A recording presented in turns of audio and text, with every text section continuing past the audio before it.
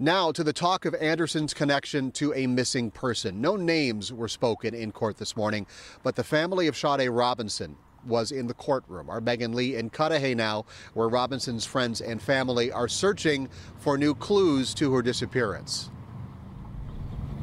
That's right, Steve. Family and friends of Sade Robinson just got here at Warnimont Park to continue their search efforts in the missing teen. One of those searchers is Julia Ferrara. She says her son and the missing teen are great friends. She showed me some of these pictures. I want you to take a look at your screen so you can see these photos from Pizza Shuttle. The missing teen has worked at Pizza Shuttle for four years now, and Ferrara tells me her son and um, Sade have been friends. They've They've leaned on each other, and she says that the Pizza Shuttle is like a family. She is urging the community to continue helping with the search efforts.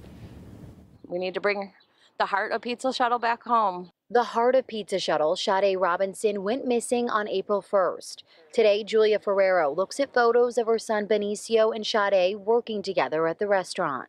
They vibed, they listened to music, they laughed. I mean, they talked about everything. Julia just got back from visiting Benicio at college. She says her son is heartbroken over Sade's disappearance. He's devastated. Um, he's still marching on because Sade would want him to, because she would be like, Nope, I don't want you to be sad. I want you to keep living your life. Many Pizza Shuttle employees, too upset to go on camera, tell me her smiley presence is unforgettable. Julia would agree. Always laughing, smiling, making the customers feel like welcomed and the employees welcomed and just like always lit up the room. Family and friends are not losing hope. They want to bring their ray of light safely back home. She is somebody that is very special, you know, and I hope we can find some answers for her. Sade's disappearance comes in the same week that body parts have been found in and outside of Milwaukee. I did see Sade's family in court this morning for Maxwell Anderson's first court appearance. However, authorities have not yet connected or have not connected the body parts or um, with Sade Robinson. It live in Cudahy, Megan Lee, TMJ4 News.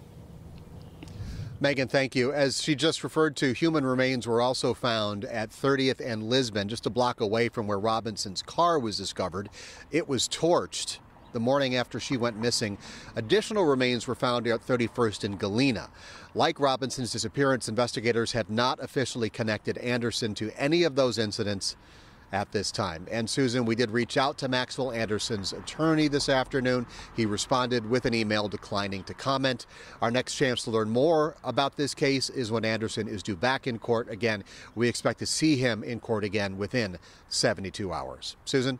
Steve Chamraz, thanks so much. And through our reporting on this story, TMJ4 has learned we actually interviewed Maxwell Anderson on an unrelated topic back in 2016.